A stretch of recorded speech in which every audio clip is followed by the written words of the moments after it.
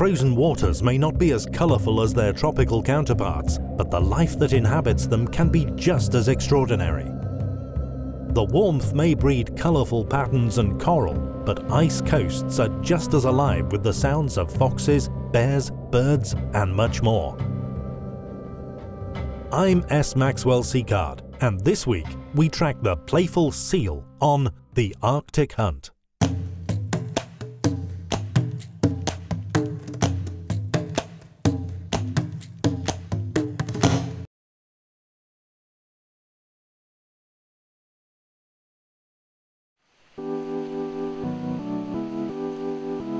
Inhabiting coastlines all over the world, the pinnipeds are curious mammals that can reach weights varying greatly by species.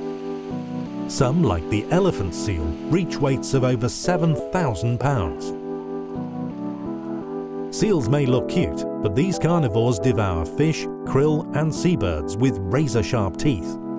Although killers themselves, they're hunted by sharks and killer whales. Such is the circle of life. For this hunt, I'll be taking my trusty Parker, my Canon Rebel EOS T3i, a telephoto 70 to 300mm lens, and a handy 24 to 85mm zoom lens. For underwater and remote shots, we'll be using two GoPro Hero 3 Pluses. Seeing seals above water is grand, but we want to see how the seals behave below the surface. I'll also be taking a first aid kit in case the seals tried to drown me. I, uh, can't swim.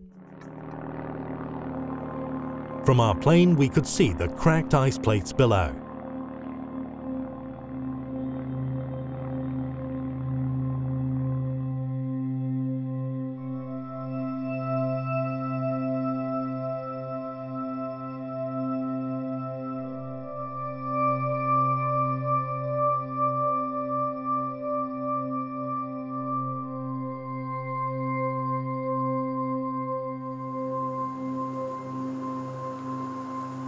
After only an hour on the ice, we spotted our first seal. Soon after, we checked our remote camera to see another, much closer specimen. Within the next few minutes, two more seals made their way in front of our cameras. With cameras underwater, it was only a short time before we began getting images of a curious seal investigating.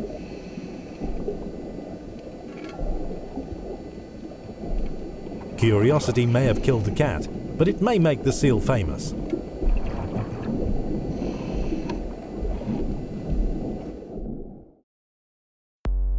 The coastlines of Lake Gregory may just be the most populated of all the Arctic areas. With entire generations of seals occupying beaches, it isn't difficult to understand why this mammal is so successful. These seals prove that life under 20 degrees isn't only possible, it can prosper. I'm S. Maxwell Seacard. Thank you for joining us on the Arctic Hunt.